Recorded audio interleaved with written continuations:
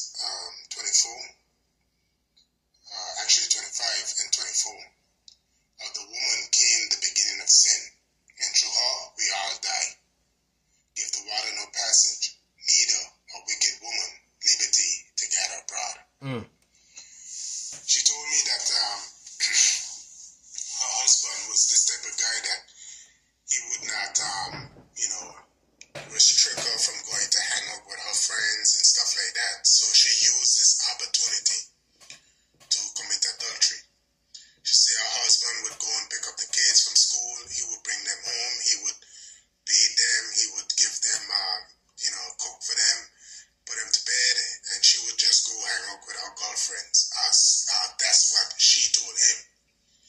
And um, her girlfriends were in on it. And, um, you know, they would pretend that she is with them, but she would go to men's house, you know, she would have sex with them over and over. And then um, her husband would call her and she would not answer the phone. And um, she would, uh, you know, uh, update her friends of what going on. And her husband would call her friend looking for her. And she would, her friends would tell her, her husband that she just went to the restroom. They're hanging out at a restaurant. She just went to the restroom. And um, so her husband would be like, okay, just have her call me when she come out. And uh, her friend would call her when she's sleeping with this other man. And she would call him like, hey, honey, what's up? I was just, uh, I just went to the restroom. And she would stop right in the midst of, um, you know, fucking this other man and just stop and call her husband.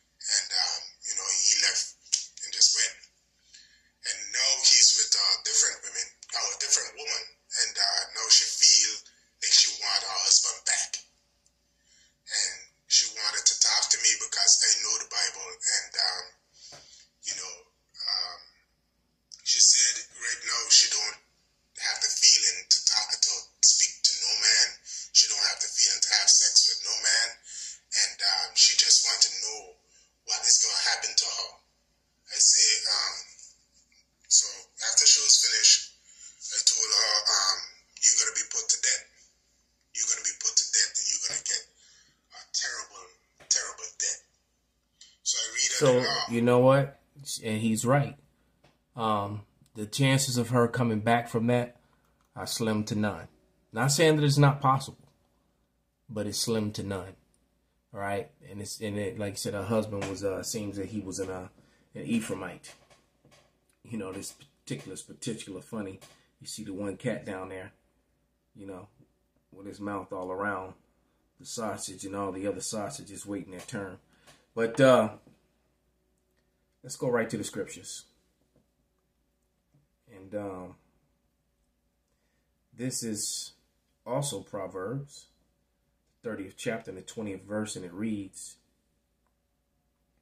Such is the way of an adulterous woman. She eateth and wipeth her mouth, and saith, I have done no wickedness, because they expect this after all that. All right? they expect this after all, all that and to be treated some kind of way on top of that. As if they actually deserve that. See, this Western society has really screwed and turned things upside down. And there's a horrible judgment that's upon America right now. So many people died. Lots of people died uh, in the fires out west. Lots of property was destroyed. Um, and then you just recently had the storm of God all right? The storm of Yahweh that just hit the south and the east coast and destroyed a lot of property and people. A lot of people died uh, um, up in Connecticut, New York, and Jersey. A lot of destruction. Plus the economies and the draconian law that's coming down because of all these uh, all these falsehoods being pushed as truth. All right. But this is uh Leviticus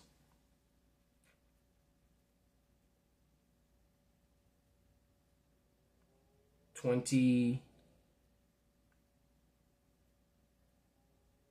and I'm gonna start at verse ten.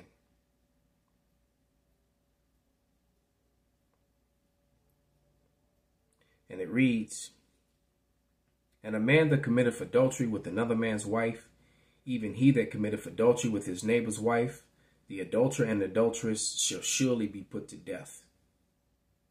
And the man that lieth with his father's wife has uncovered his father's nakedness. Both of them shall, shall, shall surely be put to death. Their blood shall be upon them. So adultery is a very serious thing. All right. And if a man lie with his daughter in law, and I read those because this kind of wickedness happened among the heathen and even among Israel. All right. And if a man lie with his daughter in law, both of them surely shall be put to death. They have wrought confusion. Their blood shall be upon them. Because what happens if you go and lie with your, your son's wife? All right. And your son already has a child with that woman, and now you get her pregnant. So that's going to be a lot of confusion because that what what's the relationship between your child and your son's child that came out of the same woman? See, that's madness. All right? So that's why this this current world uh, has to come to an end because under Esau Edom's laws, these sort of things uh, go goes on. let me uh find this other video. It's a short one.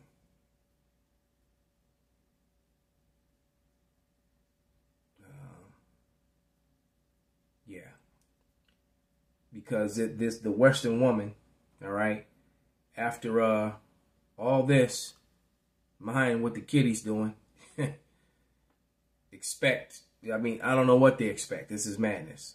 But here we go I feel like I've given so many blowjobs in past relationships. There should be rollover blowjobs in relationships, like there are rollover minutes with T-Mobile. Like, I want to go up to my current boyfriend and be like, babe, I love you so much, but you have no idea how much head I gave my ex. Like, doesn't that count towards us? Now, how the fuck does that count toward him? All right? Because you got the DNA of, you know, all these uh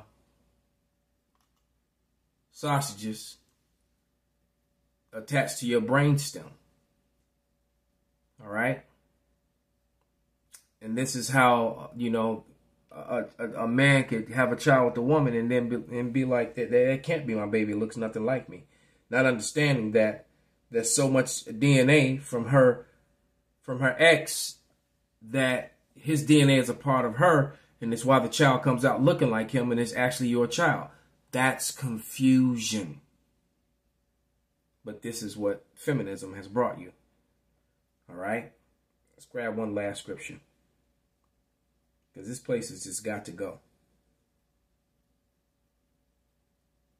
My body, my mouth, my body, my holes, right? This is uh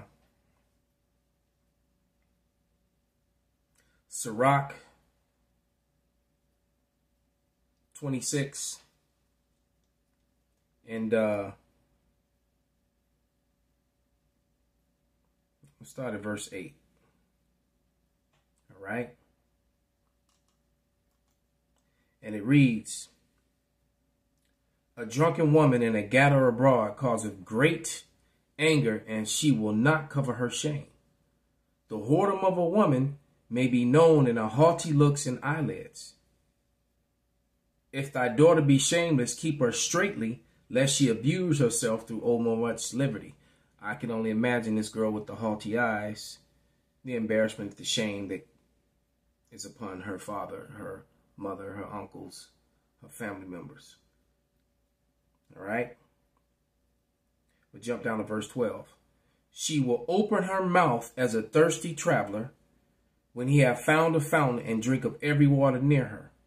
By every hedge will she sit down and open her quiver against every arrow. And see, I keep saying, as this society uh, begins to fall, those of you who have enjoyed the carousel, see, there's going to be no 911 and no services and no one coming to help you.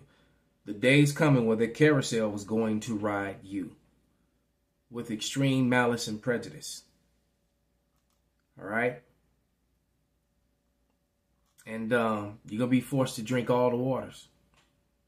Call hello, Yahweh Bashem, I was shy about Shem Wa Abba Abba Shalom Kwam Yasharallah.